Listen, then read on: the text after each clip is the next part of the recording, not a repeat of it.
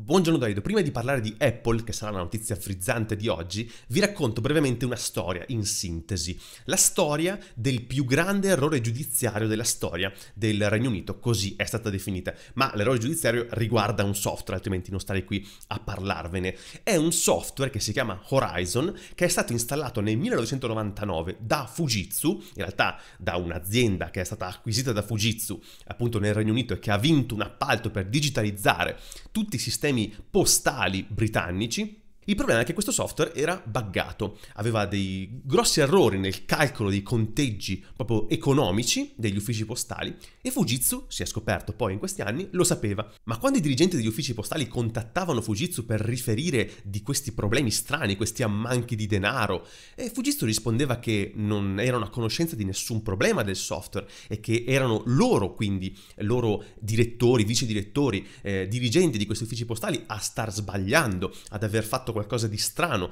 per far sì che mancassero dei soldi. E questi dirigenti, secondo la legge britannica, sono direttamente responsabili dei soldi che girano in questi uffici postali e molti di loro, consigliati dai propri avvocati per non rischiare di finire in galera, perché si finisce insomma in prigione per fatti di questo tipo nel Regno Unito, hanno deciso di coprire gli ammanchi di tasca propria, quindi indebitandosi, vendendo la casa, le proprie cose e naturalmente poi eh, subendo il, la disgrazia sociale e pubblica insomma di un fatto di questo tipo. Infatti molti sono caduti in depressione e si sono poi suicidati. Questa vicenda è andata avanti dal 99 al 2015, quando con un'inchiesta televisiva della BBC eh, è venuto insomma fuori tutto il, il, disastro. Ma già anni prima c'era stata una class action portata avanti da un vice direttore di un ufficio postale che si chiama Alan Bates e che oggi è protagonista di una miniserie, una serie tv eh, creata tra l'altro dalla BBC stessa, che è andato in onda e ha riportato insomma in auge questa, questa vicenda. Poi magari arriverà anche in Italia, quindi adesso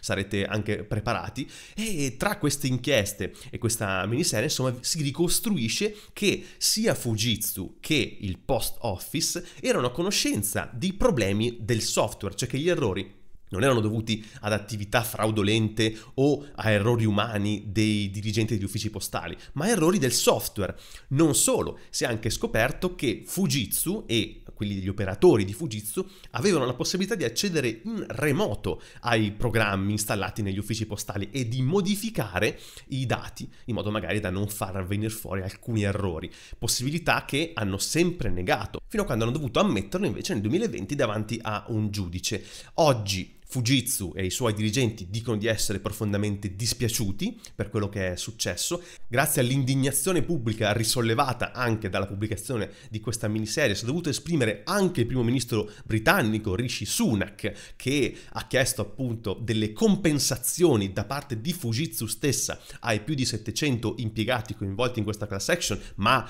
eh, in realtà quelli colpiti da questi problemi furono più di 3000 appunto tra il 99 e il 2015 e Fujitsu inizialmente aveva tentato insomma di, di, non, di non, rispondere eh, direttamente con i, i, soldi, invece adesso sembra che eh, si sia rassegnata insomma a coprire questi ammanchi in prima persona, avendo provato insomma che erano a conoscenza dei bug del software e, e avendo mentito sull'accesso remoto ai software stessi. La reazione dei mercati è stata naturalmente negativa, Fujitsu è un titolo che ha perso in borsa, ma da quando si è scoperta questa vicenda, cioè dal 2015 almeno. Secondo voi Fujitsu ha perso dei contratti pubblici nel Regno Unito o ha visto diminuire alcune commesse o il software Horizon è stato dismesso, ritirato e rimpiazzato con altro? No, naturalmente Fujitsu è saldamente al comando delle, degli appalti pubblici nel Regno Unito, è una tendenza che conosciamo no? in altre amministrazioni pubbliche, quando ci sono delle connessioni così forti tra pubblico e privato, insomma è difficile scalfire un rapporto rapporto così solido. Quindi ho voluto raccontarvi la vicenda, molto in sintesi naturalmente, del Post Office UK e dei Fujitsu.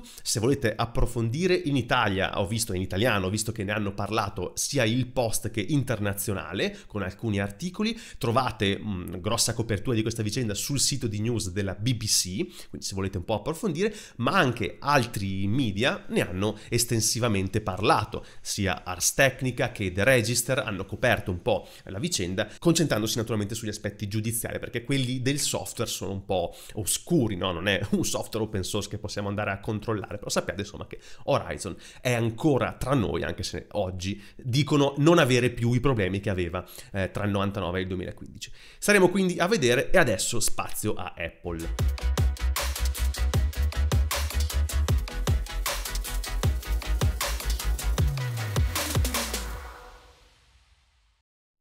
Allora, oggi è il 19 gennaio, è tempo di riassumere cosa sta succedendo negli Stati Uniti tra Apple e Epic Games, perché quella vicenda giudiziaria è andata un pochino avanti, cioè c'è uno sviluppo ed è uno sviluppo abbastanza frizzante. E ne parlo andando a spulciarmi un articolo, anzi vari articoli vedremo, però parto da un articolo italiano di dday.it scritto da Massimiliano Di Marco. E dice questo, questo pezzo, insomma parte così, la Corte Suprema degli Stati Uniti ha scelto di non ascoltare né l'appello di Epic Games né quello di Apple, poi vedremo appello di cosa se non vi ricordate questa frizzantissima vicenda. Quindi quanto è stato stabilito in precedenza eh, non potrà cambiare. Per Epic Games significa una sconfitta su quasi tutta la linea perché non è riuscita a dimostrare che la posizione di Apple è un abuso di posizione dominante e che App Store è un monopolio. E anche Apple non è riuscita a respingere il mandato che le impone di permettere agli utenti di pagare per beni e servizi anche al di fuori dell'App Store, che quindi mh, mm, consente agli sviluppatori di implementare altre modalità di pagamento per le app e non dover pagare il 30% che Apple trattiene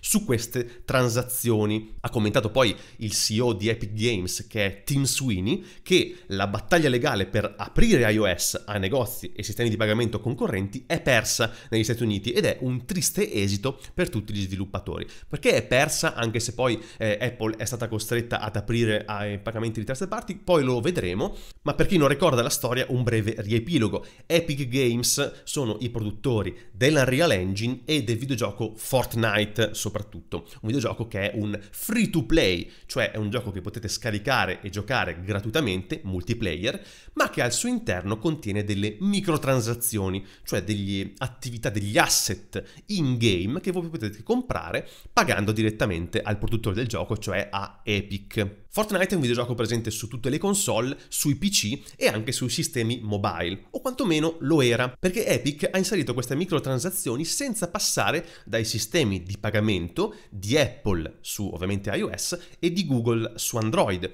E questi due grossi mm, monopolisti insomma, del, del, settore non sono mai stati molto contenti di questa pratica, infatti hanno tolto Fortnite dai rispettivi store perché eh, la pratica di consentire transazioni fuori dai sistemi di pagamento, quindi da Google Pay e da Apple Pay, è vietata esplicitamente dalle guidelines degli store. Epic ha ricorso in tribunale contro questa decisione e ha perso entrambe le cause, quindi la app di Fortnite non si trova sugli store. Su Android, essendo un sistema più aperto, si può comunque installare in altre maniere, su iOS non è proprio possibile. Epic ha quindi ricorso in appello, il giudice ha negato questo ricorso ed è finita qui. Fortnite non potrà essere sullo store ma il giudice ha anche riconosciuto che Apple non può impedire agli sviluppatori di app, almeno negli Stati Uniti, di usare altri metodi di pagamento, cosiddetti metodi di pagamento di terze parti. E quindi Apple deve aprire a questi sistemi. E l'ha fatto, ma c'è un problemino. The Verge infatti riporta la notizia che Apple ora ha aggiornato le policy dell'App Store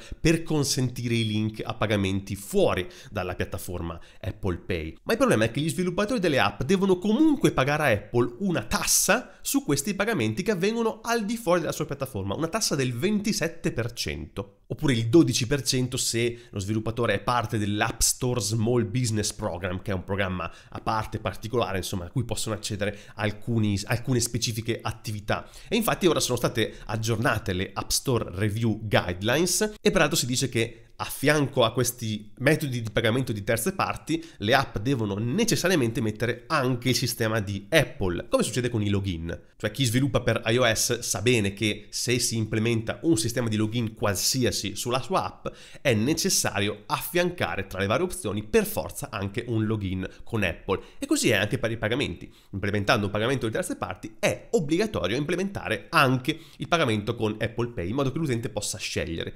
Chiaramente Se l'utente sceglie di pagare con un sistema di terze parti, Apple gli farà notare che la scelta potrebbe essere rischiosa, mettiamola così.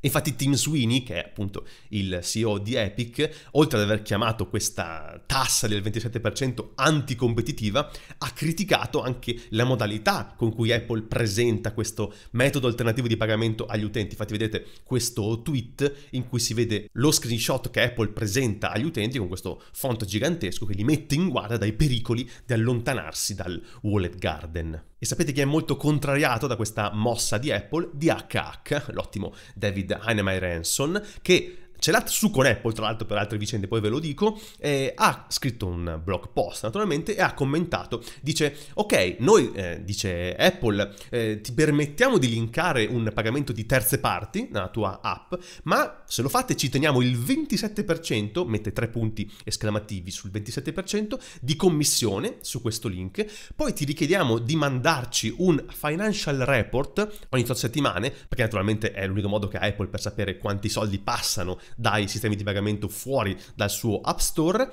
Poi ci riserviamo il diritto di fare audit sui libri che vendete, sulle opere che vendete sulla vostra app in qualunque momento. Mette ancora tre punti di domanda e un punto esclamativo e possiamo comunque eh, espellervi dall'App Store in ogni momento a seconda il fatto che ci vada o no, eh, che la vostra app sia compliant con le nostre guidelines. E ehm, chiude tra l'altro, non penso di aver mai visto questo livello di arroganza da da una major tech, eh, da un major tech monopolist, quindi da un monopolista del tech, nella storia dell'industria informatica. Vi dicevo che DHH ha dei motivi per avercela con Apple perché recentemente una sua app, cioè il calendario di Hey, il suo eh, servizio di email, è stato rigettato dalla review dell'App Store, poi dopo è stato riaccettato solo dopo alcuni cambiamenti alla schermata di login. Ma chi sviluppa app mobile sia per Android che per iOS, ma in particolare per iOS, sa che le review sono sempre una cosa abbastanza problematica perché il reviewer, che è un essere umano, eh, spesso spesso interpreta le guidelines in modo o troppo rigido o con delle interpretazioni un po' fantasiose e quindi il rapporto non è tanto tra una app e Apple ma tra uno sviluppatore dell'app e il reviewer e c'è un dialogo per cercare di far capire al reviewer che in realtà si sta rispettando la guidelines oppure che si aggiunge un pezzetto all'app, si cambiano delle schermate, si cambiano alcune cose per essere insomma compliant con quello che l'app dice. Nel caso di DHH l'intera funzionalità dell'app era accessibile soltanto dopo una schermata di login, questo non è consentito dalle guidelines, DHH fa notare che ci sono altre app che invece si comportano esattamente così, quindi l'app non è accessibile a meno che ci sia un login, ma sappiamo anche che alcune di queste app, quantomeno, dovrebbero avere degli accordi specifici con Apple per consentire questo genere di comportamento, oppure in qualche modo sono riusciti a convincere il reviewer, non lo sappiamo. Insomma, c'è questa disputa eh, simpatica che poi si è risolta perché la, il, la, l'app calendar è stata un attimino modificata, tra l'altro per mostrare il calendario con gli eventi della storia di Apple, anche per fare un po' di trolling, e questo è il perché anche di HH sia così eh, scagliato contro Apple. Ma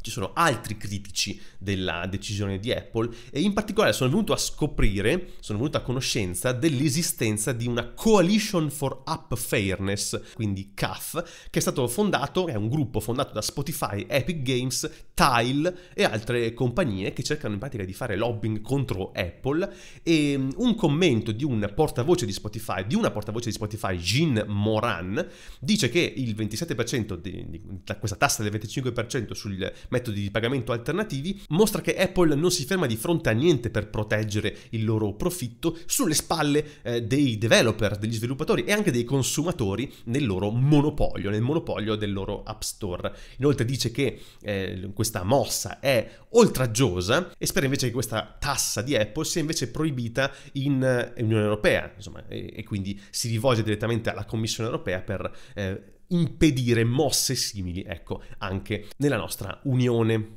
e l'executive director di CAF, che è Rick Van Meter, ha detto che l'approccio di Apple eh, non, non, darà alcun beneficio né agli sviluppatori né agli utenti e questi cambiamenti non fanno nulla per migliorare le possibilità di scelta del consumatore e tra l'altro non abbassano i prezzi del, de, dell'in-app purchase, che sono questi metodi di pagamento in app e quindi non aumentano la competizione, che dovrebbe essere invece il faro no? delle decisioni del, dei giudici negli Stati Uniti. Restando sempre in casa Apple, ma tornando alla vicenda che abbiamo ormai seguito abbastanza da vicino in questo mese del ban alla vendita degli Apple Watch con il sensore di ossigeno per aver infranto dei brevetti di un'azienda rivale che è Massimo Technology, eh, sapete che c'era stato un appello di Apple e quindi questa, la vendita era stata eh, consentita per qualche giorno, era stato tolto un, per qualche giorno questo ban fino a una decisione definitiva. La decisione definitiva è arrivata ed è confermato che Apple non può vendere vendere questi Apple Watch con i sensori di ossigeno. Quindi che cosa ha fatto Apple? Ha disattivato i sensori di ossigeno, quindi ci sono dei nuovi modelli in vendita nei negozi esattamente da ieri, sì, a quanto pare, eh, nei negozi americani che hanno disattivato completamente già di default i sensori di ossigeno. Invece tutti quelli che sono già in possesso degli utenti continueranno a funzionare normalmente. L'app con sensore di ossigeno sarà sempre accessibile anche nei nuovi modelli, ma un messaggio dirà che la funzionalità non è attiva e quindi di rivolgersi insomma all'app salute o ad altre cose. E volete sapere anche perché Massimo Technology ha spinto così tanto in questi mesi per arrivare al blocco delle vendite di Apple Watch con i sensori dell'ossigeno? Perché ha un proprio prodotto consumer pronto per il mercato, uno smartwatch con i propri sensori dell'ossigeno. Questa è la pura verità. Quindi eh, tramite The Verge veniamo a scoprire insomma che il Freedom il, sarà il primo, non è proprio il primo primo, ma sarà uno dei primi eh, smartwatch prodotti da Massimo Technology per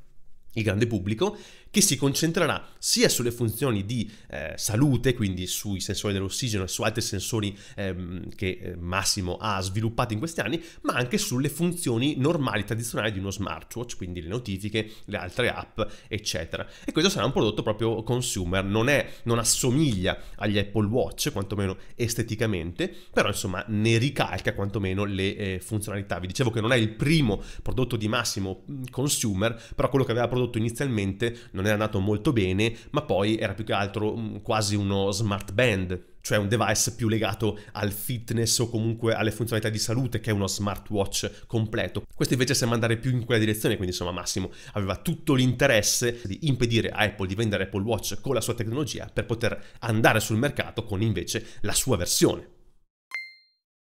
Ho i link di oggi molto velocemente sul blog di DHH, trovate un ulteriore commento del buon David Hanimai Ranson sulla vicenda Apple. Il post si intitola Microsoft taught Apple nothing, quindi fa un parallelismo tra le vicende da monopolista di Microsoft e quelle di Apple e fa, un, po delle, un po' delle sue considerazioni ulteriori. Il blog è un pochino più lungo insomma di quello che vi ho citato prima. Se vi interessa approfondire cosa ne pensa DHH di questa vicenda, vi consiglio anche di andare a leggere leggere questo e l'ultimo è un post, eh, invece andiamo più sul coding, qualcosa di coding ce lo mettiamo no? in questa puntatina e è un post in realtà che ha ormai quasi un mese, l'aveva pubblicato Ryan Cargnato sul suo profilo dev, quindi su dev.to e si intitola JavaScript Frameworks Heading into 2024, quindi eh, una panoramica di quello che ci aspetta per i framework JavaScript nel 2024. Ryan Cargnato naturalmente, se non lo conoscete, è il creatore di Solid.js JS e quindi è qualcuno che ha delle opinioni piuttosto forti sul mercato e su, insomma, sulle innovazioni tecniche che arrivano sui framework in particolare sui signals, sul ehm, paradigma server first, eccetera, anche un po' di considerazioni su quello che è successo nel 2023. Dicevo un po' vecchiotto, ma l'ho recuperato adesso e secondo me vale la pena darsi un'occhiata anche per vedere un po' qual è la visione di uno che è tanto addentro nella industry e che può darci insomma delle considerazioni interessanti. Quindi vi ripeto, JavaScript Frameworks Heading into 2024 su dev.to Ryan Carniato. E con questa ho davvero finito, grazie per avermi seguito anche oggi, naturalmente andiamo verso un eh, improduttivo e rilassante weekend, noi ci rivediamo probabilmente la prossima settimana, grazie ancora a tutti, alla prossima.